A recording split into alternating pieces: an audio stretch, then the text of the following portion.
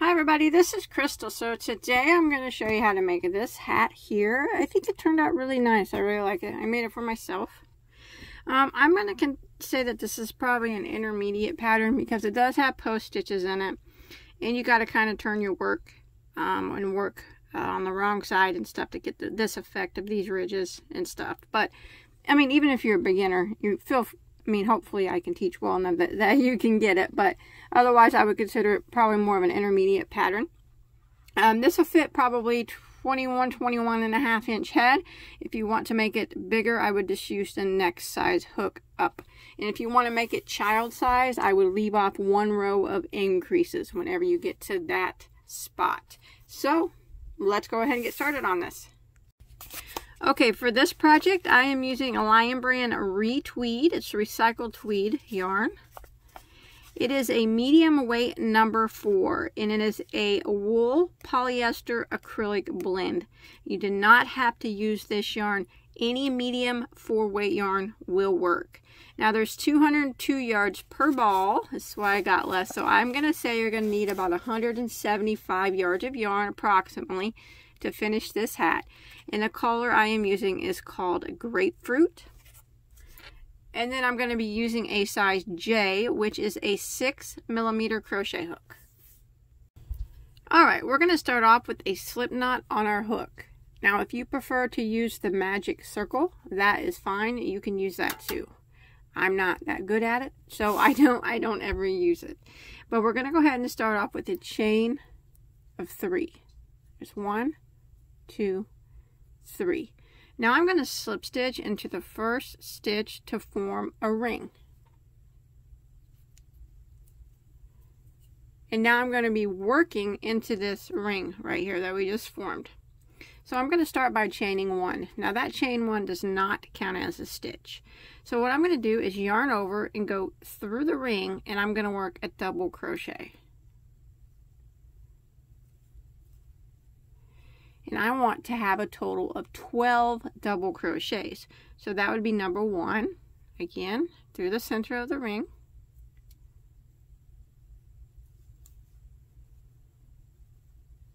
There's two.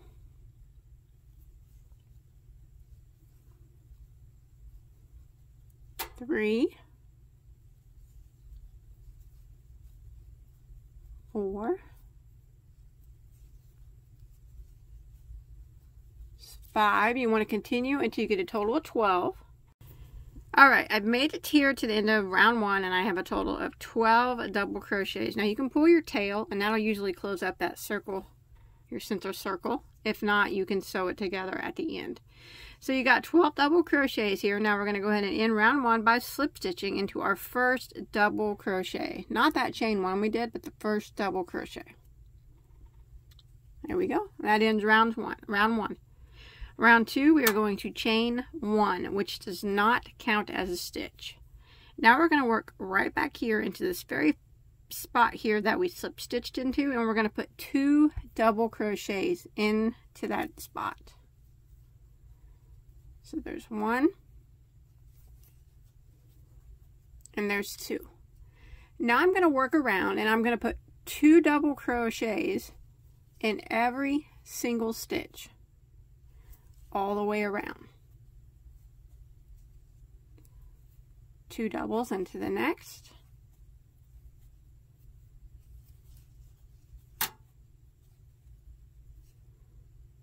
Two doubles into the next, and I'm going to repeat this pattern until I get back to my starting point. Two doubles into the next. So two doubles in every stitch all the way around until I get back to the beginning. Alright, I've made it to the end of round two, and now you should have a total of 24 stitches. And we're going to go ahead and end it by slip stitching into our first double crochet. Just like that. Now round three, we're going to start by chaining one. It does not count as a stitch. We're going to go right back into that same spot there that we just slip stitched into. We're going to put one double crochet. And now in the next stitch, we're going to put two double crochets into the same stitch. So that's kind of the repeat now for round three. We're going to put one double crochet into the next stitch. And then in the next stitch, we will put two double crochets.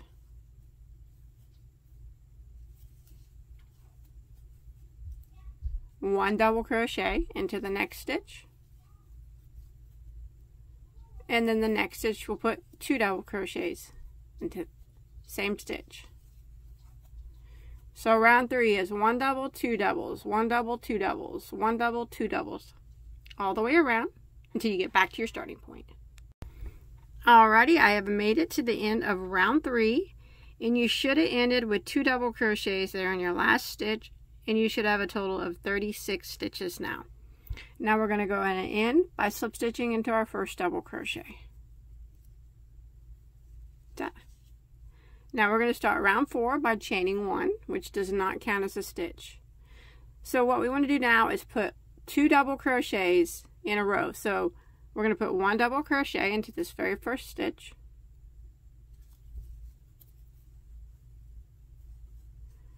One double crochet into the next stitch.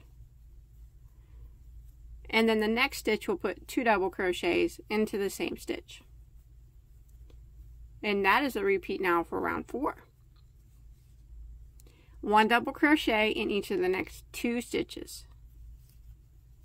So there's one, and then one in the next, and then two double crochets into the next stitch. Again, one double crochet in each of the next two stitches. So there's one,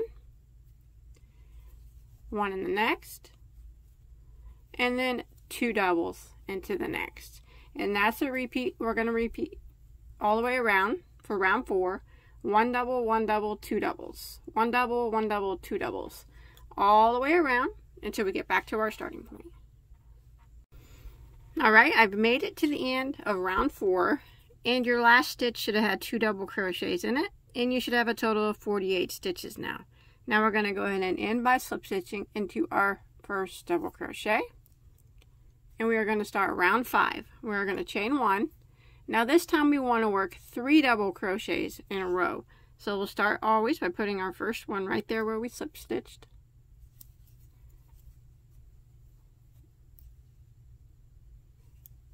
One in the next. One in the next. So that's three in a row. And then the next stitch, we'll put two double crochets into the same stitch. And that's the repeat for round five. One double crochet in each of the next three stitches. So one,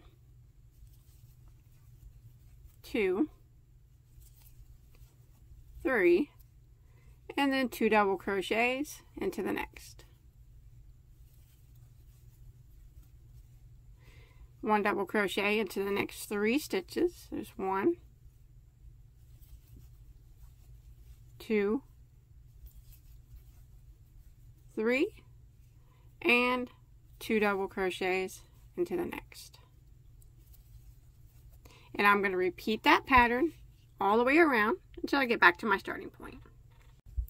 Alright I've come to the end of round five. Your last stitch again should have had two double crochets in it and you should have a total of 60 stitches now. Now we're not going to be increasing anymore. So what we're going to do is end round 5 by slip stitching into our first double crochet. And now we're going to start the repeat rounds. Okay, so now I'm going to chain one and I'm going to turn my work. So now I'm going to be working on the um, up, the underneath side of my hat. So what I'm going to do is I'm going to work a half double crochet right here into this very first stitch that we just slip stitched into a half double crochet. Like that. And I'm going to put a slip stitch into the next stitch. And I'm going to half double into the next. And then I'm going to slip stitch into the next and this is a pattern I'm going to repeat all the way around. Half double. And then slip into the next. Half double into the next. And then slip stitch into the next. Half double into the next. And slip into the next. All the way around until you get back to your starting point all right I have made it to the end of round six your last stitch should have been a slip stitch You should have 60 stitches total. total. We're still working on the wrong side of our work. And we're going to go in and end by slip stitching into our first half double crochet. Now round seven, we're going to start off by doing a loose chain one. And that is going to count as a slip stitch. So we're going to go to the next stitch and we're going to work a half double crochet. And then the next stitch will be a slip stitch. And the next stitch a half double crochet. And then a slip stitch and a half double crochet. So we're doing for round seven what we did on round six except for kind of opposite. Where there was a half double on the previous round we're putting a slip stitch and where there was a slip stitch on the previous round we'll be putting a half double so slip stitch, half double. Slip stitch, half double. And we're going to repeat this pattern all the way around until we get back to our starting point. And the reason why we're working it on the wrong side, if you take a minute if you flip it over to look on the right side, you'll see that it makes a little bit of a decoration there. As opposed to when you work on the wrong side, it just looks kind of plain. So whenever we turn it back around to the right side, it'll have those a little bit of texture there. So that's why we're working it backwards. So I'm going to continue working my half double crochet, slip stitch, repeat all the way around until I get back to my starting point. All right, I've made it back to the end of round seven, and this time I should have ended in a half double crochet. Now you want to closely slip stitch into that first chain one that we said we counted as a slip stitch. We're going to go ahead and slip stitch into that. 60 stitches still. We'll always have 60 stitches. Now we're going to chain one, and now we're going to start with a half double crochet into the very first stitch. and then we're going to slip stitch into the next. And then half double into the next. And slip stitch into the next. Half double into the next and slip stitch into the next and we're going to repeat this pattern all the way around until we get back to the beginning.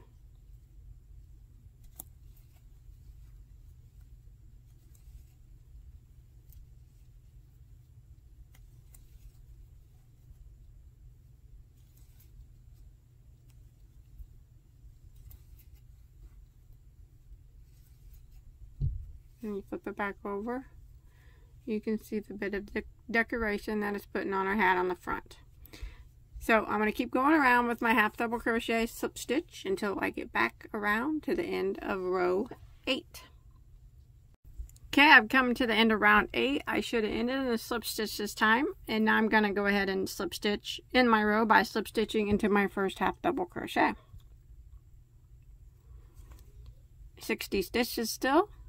Always 60 stitches. And now I'm going to chain one and turn my work back around to the front.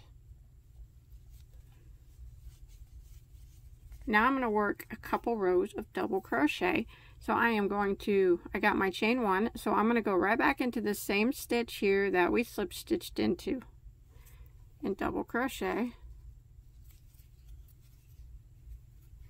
And I want to put one double crochet into every stitch. But when you get here to where these little ridges are, don't go underneath that ridge. That that is that's not where the stitch is. The stitch is right back here like this.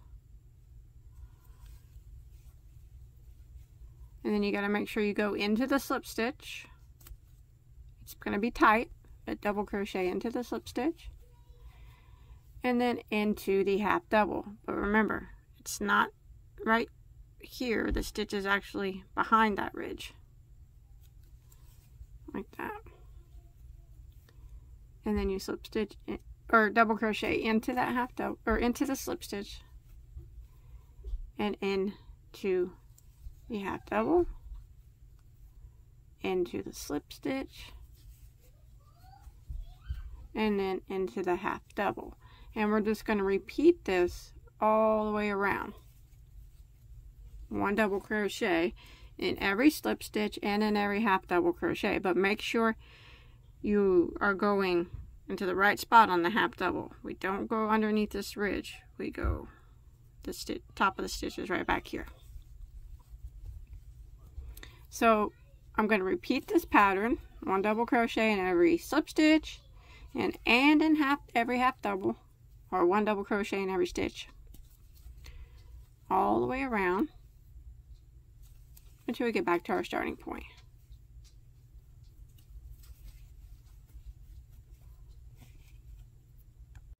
Alright, I've made it to the end of round 9 and I should have 60 stitches. So I'm going to go ahead and end by slip stitching into my first double crochet. Now round 10, I'm just going to repeat what I did on round 9. I'm going to chain 1, double crochet back into the first stitch, and I'm going to put one double crochet in every stitch all the way around.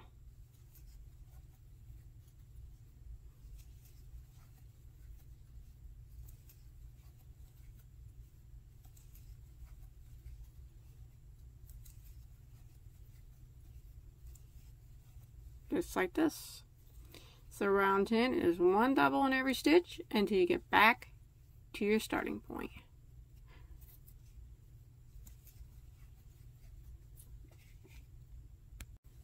Alright, I have made it to the end of round 10, 60 stitches, going to end by slip stitching into your first double crochet. Now that is the repeat now. Rounds 6, 7, 8, 9, and 10. So remember, when we repeat, rounds 6, 7, and 8, we have to do it on the wrong side. So for round 11, we will be we will be repeating what we did on round 6. So that's where we chain 1 and we turn our work. So now we're working on the wrong side. And we start off by half doubling into the first stitch and slip stitch into the next. Half double and then slip stitch. So I am going to continue repeating rounds 6, 7, 8, 9, and 10 until I get to my desired length. Remember these three rounds we are work we work them on the wrong side and then we turn our worker back around to do the other two rows of repeats.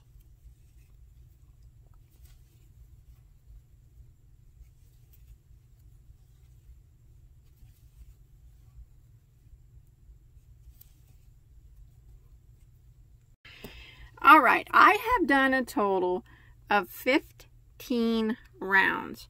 So I repeated this section one time, and here I am.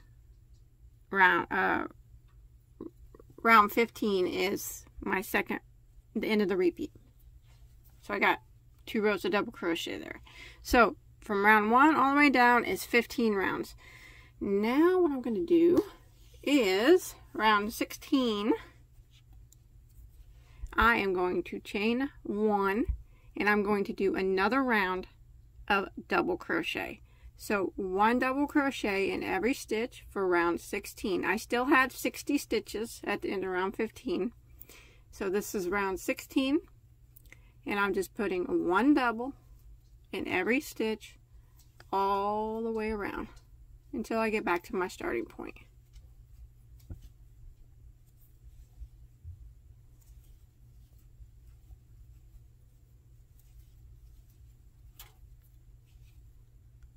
Alrighty, I made it to the end of round 16.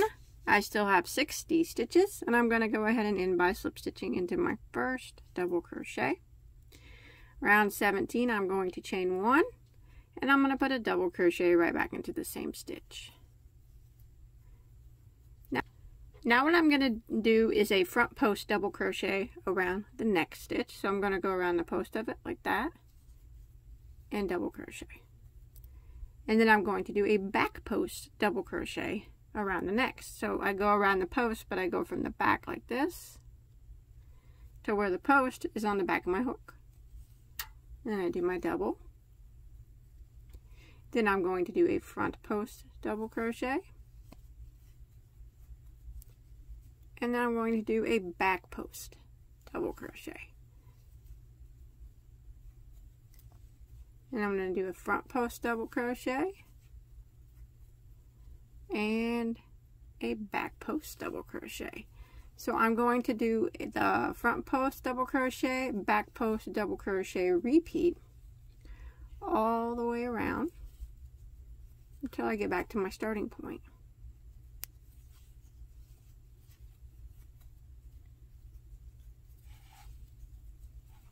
And this is just putting some ridges on it just to kind of give it a little bit of a brim. So I'm going to continue front post double crochet, back post double crochet. Front post and back post all the way around until I get back to my starting point. Alright, I've made it to the end of round 17. Your last stitch should have been a front post double crochet. I'm going to go ahead and end by slip stitching into my first double crochet. Now I am going to do one last round of single crochet because I like my hat, um, this is my, I made it for myself. I like them to be set a little lower um, on my face. Now if you try it on and you, it feels okay to you, you can leave it the way that it is. Otherwise, I'm going to go ahead and chain one and I'm just going to go around and I'm going to put one single crochet in that first stitch. And I'm going to work one single crochet in every stitch all the way around. This will clean up the edges nicely. But remember, if you try it on and you feel like it's already low enough for you, you can leave it as is. Adding this one row of single crochet won't make it set much lower, but just a little bit. But it will clean up the edge nicely. So I'm going to work around. This is around round 18, our last round. One single crochet in every stitch until we get back to our starting point.